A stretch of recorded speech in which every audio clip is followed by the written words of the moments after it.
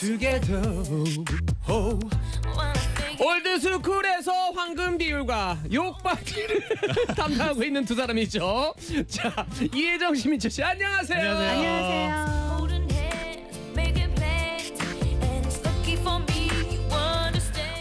아 진짜 오랜만에 뵙는 것 같습니다. 네, 오랜만입니다. 2주 동안이나 특집을 했어요. 네, 매주 수요일마다 불안불안하더라고요. 그러니까요. 3주 만에 이렇게 뵙는데 네. 잘 지내셨어요? 네, 잘 지냈습니다. 네, 더 이뻐지신 것 같네요. 감사합니다. 네. 어 민철 씨는 네. 아 오늘 축구 보려고 축구복을 입고 오신 건가요? 어, 네, 비슷합니다. 오늘 네. 새벽에 제가 좋아하는 팀이 또 시합이 있어가지고 그러니까요. 네, 낮부터 준비를 하고 있습니다. 네. 리버풀 화이팅!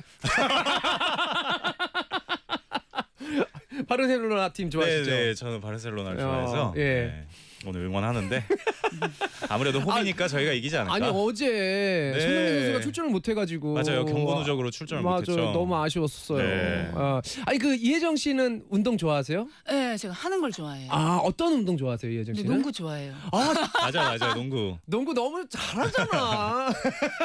요즘도 배드민턴 치세요? 어, 아 요즘에는 네. 저 컨디션이 좀안 좋아가지고 아. 음. 관람만 하고 있습니다. 아, 그래요? 네. 어. 배드민턴 너무 좋죠. 날이 좋으면 할 게 너무 많죠. 그쵸. 너무 많죠. 무조건 아, 나가야 돼요. 특히나 오늘 이혜정 씨 옷이 네. 너무 나 봄이에요. 맞아요, 맞아요.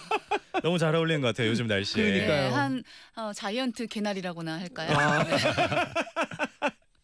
아무튼 3주 만에 이렇게 뵈서 너무 바- 반갑고요. 복대가 돌아갔던 님이 민철 씨, 혜정 씨 그리웠고 보고 싶었어요. 하트 아우, 뿅뿅뿅뿅뿅뿅뿅. 저 너무 보고 싶었어요, 네. 올드스쿨 학생 그렇습니다. 여러분. 네.